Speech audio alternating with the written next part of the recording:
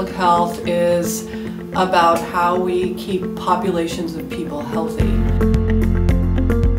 Studying how disease spreads in populations, looking at population shifts, looking at high risk populations for certain diseases or uh, risk factors for disease, and it's about preventing disease as well. So looking at environments, policies, anything from water supply to the social environments that we live in.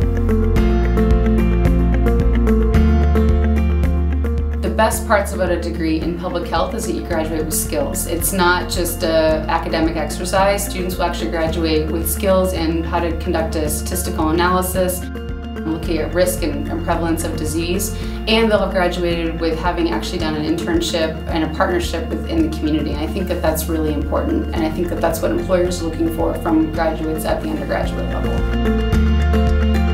The instructors are fabulous. They all know exactly what they're doing and what they're talking about. I chose UNE because of the global outreach that they do, especially with the campus in Morocco. I feel like it's important to travel, you know, to become a more well-rounded person, especially when you're in a field like this. And I thought that the program here looked amazing. We're educating, informing, and empowering people. If you're interested in helping other people, spreading knowledge about health, um, it's a great field for it. What excites me about public health is working with so many diverse individuals. It's very cross-disciplinary. Um, you really have to work hard because there's nothing easy about putting these unique solutions together for the complex public health problems that we face today. I would say if you are unclear in exactly what you want to do, but you know that you want to work in public health, and you know that you want to help your community, public health is the major to go in.